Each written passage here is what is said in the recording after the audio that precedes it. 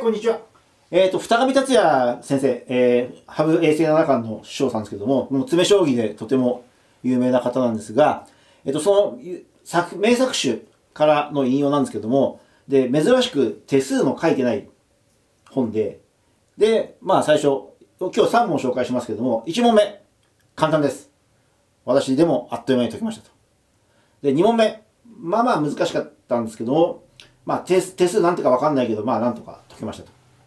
で、3問目、めちゃめちゃ難しかったです。1時間半以上考えて解けませんでしたと。という、今日その3問を紹介しますが、1問目ですからこれは簡単です。じゃあまず、最初に手数、3手です。まあ3手だからといって何でもかんでも簡単というわけじゃありませんが、まあいろいろ、まあダメな可能性のある筋はあるんですけども、初手とりあえず、まあ銀どかして空き王手って言った時に、ここに引きを残しておけば、まあ合駒効かないと。まあパッと3三銀ならず、まあ思いつか、私、これは1秒も考えなかったんですけど、すぐ正解が見えちゃったんで。でもこれも一応惜しくて、と、際どいんですよね。まあもちろん合駒引かないからこう逃げる一手。で、竜がこう入れるんで。まあこれでこうなるとちょっとここがもうこの金銀が守り強すぎて、こう足し算してっても向こうのが数が多いんで、これつまないんですよね。ということで、3三銀ならずはダメと。で、まあ、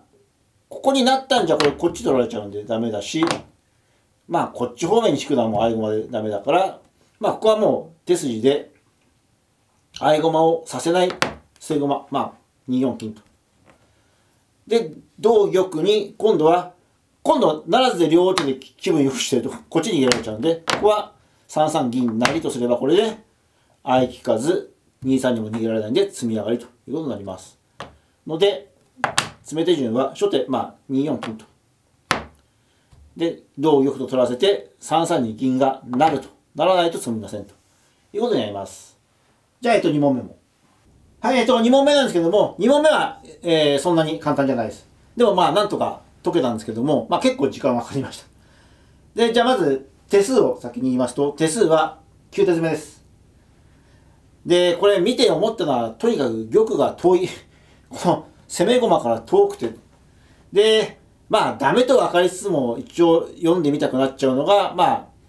飛車を1三になって、まあ、合駒すれば済むんですけど、まあ、桂馬をこっちに呼び込んで、角がなるんであれ。まあ、こういうのはダメなんで、絶対ダメだっていうの分かってるから、読む必要もないけど、まあ、次こんなのどうかなと。まあ、こんなの、安く合駒されるだけで、もう続きはないですよね。こうしても打てないし、こうして呼び込んでも、まあ、金なら金が残ってればいいけども、ダメだし、まあじゃあそもそも、うん。まあこういうのはまあダメと。ありえないと。いうことなんで、そういうのはないと。まあですから逆もしかりで、角の方から行って、まあこれ取らせて、飛車がなるような筋も、これはもう、せめて一見竜なら、まあそれでもここが空いてなければ、詰まってないと、これでもダメなのかもしれませんが、まあそもそも3-1にはならなくて、4-1なんで、これはもう逃げられて全然ダメと。こんなような筋はもう最初から考えちゃいけなくて、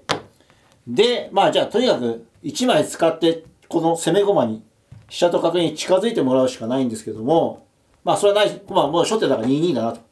いうのは分かって、で、まあどうしてもやっぱり金は残しておきたいから銀と。でまあと、とる、これはまあ逃げるのはもうここで足していけば、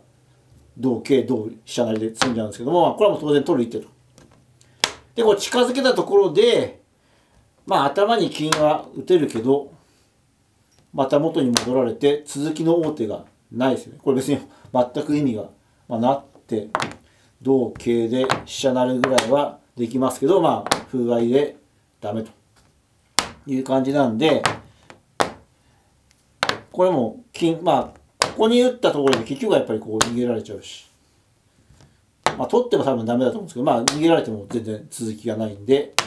もう結局金があっても、まあ、こんな重たそうな手も、これでダメか。これでもう続きがないと。し、あ、そもそもこれ、取られてもダメか。取られても、うん、ダメですよね。ダメと。いうことなんで、金を残したんじゃ実はダメだと。となれば、じゃあ、金はとどめにとは限らないんで、じゃあ、2二金ならどうかと。で、こうなって、あ、そっかと。銀を残していいことあるねというのは、3一に銀が打てると。これ取れない、これ取れないですよね。これ取ったら、飛車がなってこれ詰みなんで。なんでまあ、攻め駒の方に近づけるこの3一銀があるんで、金が先と。これも逃げればもう、あ、だんだん見えてくるという感じで、えっと、こっちに逃げた場合は、ここに、ここ、合駒利かずなんで飛車が成れると。合利かず。まあ、上には逃げられますけども、2二に竜がいって、これで角の利きがよく効いてるんで、詰むと。し、3一銀に対して、まあ、と、あ、取ると言ったな。1一玉。まあ、これがまあ本筋なんでしょう。本筋なんでしょうけど、これはもう、ここからはもう読めます、すぐに。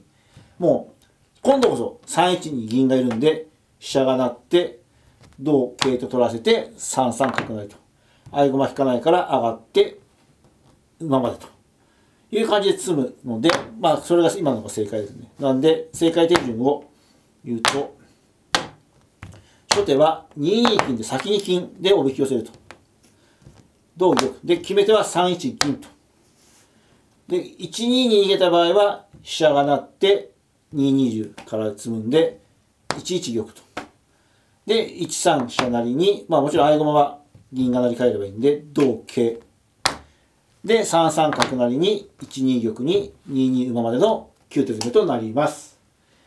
じゃあ、えっと、3問目も。はい、えっと、3問目なんですけども、えっと、手数書いてなくて、ずっと考えて、1時間半以上考えたんですけども、えー、解けませんでした。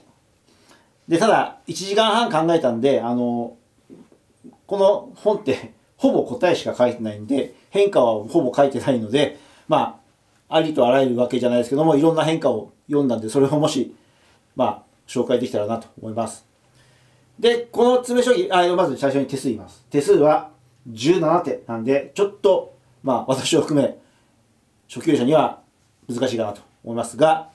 えっ、ー、と、これまず、最初にパッと思いついたのは、まあ、14形なんですが、まあ、取ってくれればきっとなんか簡単に済むだろうなと思って、まあ、でも、こう逃げられた時に、ちょっと、ここを逃げられた時に、まあ、風なり捨てとけば、こう、通るんで、まあ、いいかもしれないけど、とりあえずちょっとこれは、えっと、後で考えようと思って、先にもうずっとこの3三風なりの筋からずっと考えてました。これ同歩と取ってくれたらめちゃめちゃ簡単です、これも。持ってる駒を順番に打っていけば積んじゃいます。ふーって。これ逃げたらもう金打てばいいだけなんで、同玉で。で、ここから桂打って。で、上に逃げられてももう角が通ってるんで、桂で王手して、これで詰みと。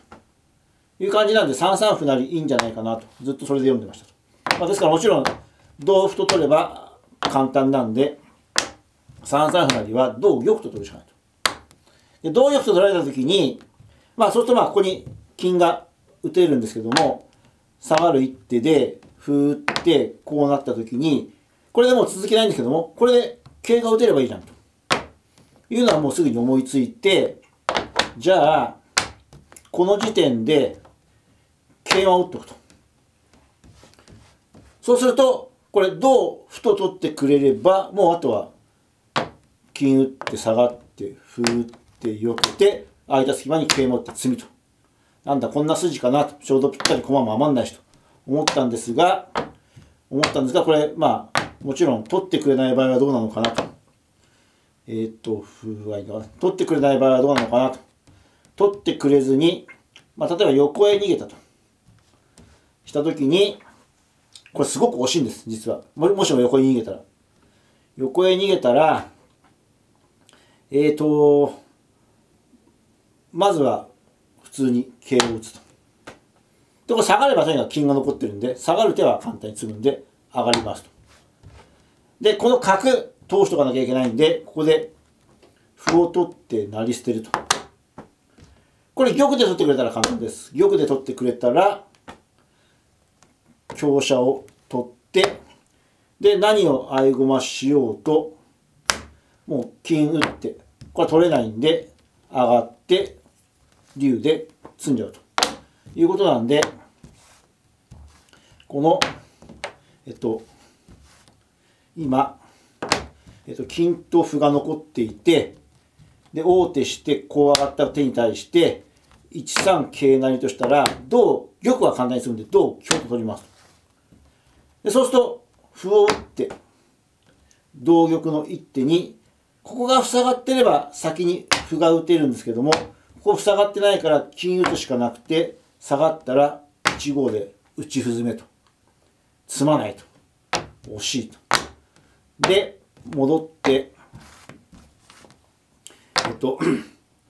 歩があって、桂があって、で、ただ、この2五桂に対して今、こう受け、避けた場合が、今、打ち歩詰めで惜しかったし、これだとさらにちょっと1枚、もう1枚少なくて、打ち歩詰めにすらならないさ、さっきと呼び込んで同じ話になるんで、今度は1枚、打ち歩詰めですらならないと。いうことで結局、3三成捨てで、3三成捨てで同玉に2五桂の筋は詰まないということになったんで、じゃあ、やっぱりじゃあ、えっと、1四桂からなのかなと。まあ、これはもちろん、えっと、読んだ手なんですけども、でこれ同歩と取ってくれば、これはめちゃめちゃ簡単です。これ取ってくれば簡単なのはすぐ分かったんです。これも、ふーって、もう上部脱出できないんで、これも角引いてるから。で、ふーって、まあ、取ってくれればもうこんなのは、桂打って、あとはもうどこへ行こうと金打てば詰んじゃうんで、ふーって。で、まあ一番めんどくさそうなのが、ここ。ここだったらもう竜切って金打てばいいんで、まあこっち。まあそれでももう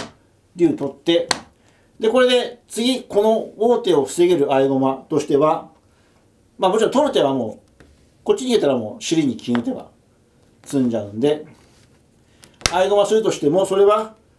この王手を防げる駒としては、もう金化したしかなくて、それはもう、もうそそのまま取っちゃって、同玉で、あとは並べていけば、詰んじゃうんで、結局、この1四桂馬に対しては取らないと。小学校でまだ、えっと、桂馬と歩と金で、竜がここにいると。1四桂馬は取らずにこう行きますと。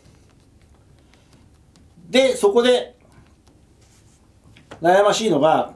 えっと、こう取られるのを防ぐのはできないんですけど、角を通しておけば、ここに金打てる筋があるんで、で、できれば、今、こっち行きたいと。でも、こっち行くと、なんで今、こっち行きたいこれ、成り捨てたい。成り捨てたい。成り捨てたいし、成り捨てが正解なんですけども、成り捨てると、同歩としたときに、2一竜が、馬で効いてるっていうんで、2一竜が思いつかなかった。2一竜実はこれ正解なんですけど、でも取られちゃうと。先に歩が鳴って、こう来て2一竜じゃ取られちゃうなと。かといって先に2一竜だとこう取られた時にもう歩が鳴り捨てる手が王手じゃないんで角が通んないと。ってことで、この辺でもう大体諦め部分になっちゃったんですけども、これですからまあ、それでももうこれしかないと。で、同歩と。で、桂馬打って、桂馬取られて、歩打って同玉で、金で下がって、なれればいいのになと。いうことで、まあこの辺でちょっと諦めちゃったんですけども、実はこれが正解に惜しい手順であって、ちゃんとやれば、まあもちろんちゃんとやれば詰むから詰め将棋なんですけども、ではどうすれば詰むのかというと、これは初期状態で、まあ、まずはですから1四桂と打ちますと。これ取ればさっき言ったように簡単なんで、上に逃げますと。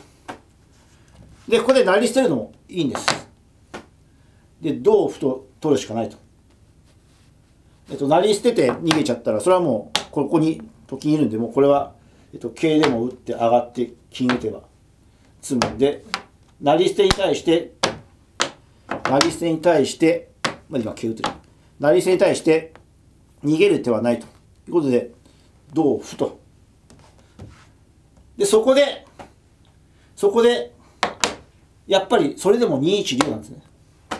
ていうのは、さっき言った4一角成をこいつが邪魔してたんで、一旦捨てると。そこで、えっと、逃げるのはもう、あとは、えっと、あ、ど、で、どう馬ですどう馬。まあ、ここはまあ絶対と。で、桂打つと。で、逃げるのはもう全部簡単です。逃げるのはもう、えっと、ここに逃げたら角がなって、下がって、金打っちゃえばいいんで、逃げるのは、下に逃げるのは簡単なんで、これはもう、一条に逃げる一手。で、ここから、ふーって、取らせて、で1五歩打って下がってとそこで4一角成が実現すると先に4一になっちゃうとあのこの時点で4一になっちゃうと上に逃げた時に抑える角がないんで角は左右になると。でこれであとはここに合駒するのは意味がないんでここに何かを合駒する。で何を合駒しようと今角はもう2枚とも使われてるんで角合いはないですと。そうするとここの合駒を取って同馬に対して前へ進める駒だったら1五に打てばいいし桂馬だったら2六に打てばいいと。どんな合駒でも取ったやつを王手で打てば詰みとで角は角合いはないんで2枚とも使われてるということで、えっと、最後、まあ、もしも桂馬だったら2六桂で積み上がりということになりますと。ということで、詰め手順を最初からやりますと、えっと、角どこ行ったあ、角いた。えっと、角桂桂金歩ですね。これですね。えっと、えっと、こうですね。はい。これで、じゃあまず詰め手順は、正解、えっと、歩が1枚。1四桂、2三玉、えー、3三歩になる。同じく歩。2一竜。同じく馬。3五桂。1四玉。1五歩。同じく玉。1六金。1四玉。4一角成。まあじゃあ3二桂。同じく馬同じく馬2六桂までの17手詰めとなりますじゃあ以上です。ありがとうございました。